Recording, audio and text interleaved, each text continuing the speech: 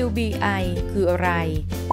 WBI ย่อมาจากคำว่า Web Based Instruction เป็นสื่อการเรียนการสอนบนเว็บ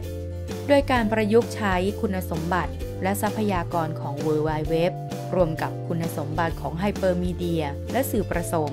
ในการจัดการเรียนการสอน ผู้เรียนจะมีการโต้ตอบกับเนื้อหา โต้ตอบกับผู้สอนและผู้เรียนด้วยกันเอง โดยผู้เรียนสามารถเข้าเรียนได้ทุกที่ทุกเวลาที่ต้องการ โดย WBI จะมีคุณลักษณะสำคัญได้แก่ มีปฏิสัมพันธ์ ระหว่างผู้สอนกับผู้เรียน ผู้เรียนกับผู้เรียน และผู้เรียนกับเนื้อหาบทเรียน มีการนำเสนอเนื้อหาในรูปแบบของสื่อประสม ผู้ใช้มีอิสระในการเข้าถึงข้อมูลได้ทั่วโลก และเต็มไปด้วยทรัพยากรเพื่อการสืบค้นออนไลน์ผู้เรียนเป็นผู้ควบคุมการเรียนด้วยตนเอง และไม่มีข้อจำกัดเรื่องสถานที่ และเวลาในการเข้าเรียน สามารถจัดกระบวนการเรียนทั้งหมดผ่านเว็บได้ และยังสามารถติดต่อสื่อสารถึงกัน ทั้งแบบในเวลาเดียวกัน และต่างเวลากันได้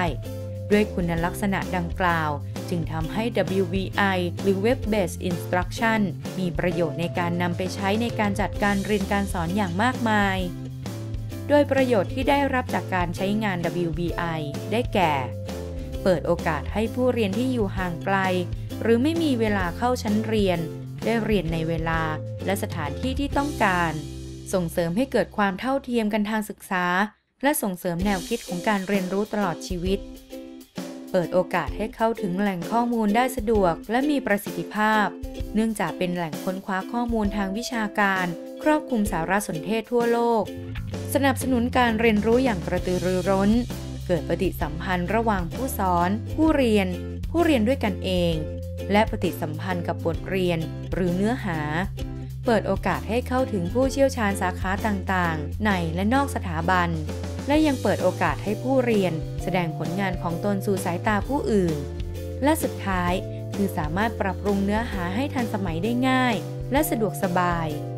ถึงแม้ว่าสื่อประเภท WBI จะเกิดขึ้นในช่วงหลายปีที่ผ่านมา แต่ก็ยังคงได้รับความนิยมใช้งานมาจนถึงปัจจุบัน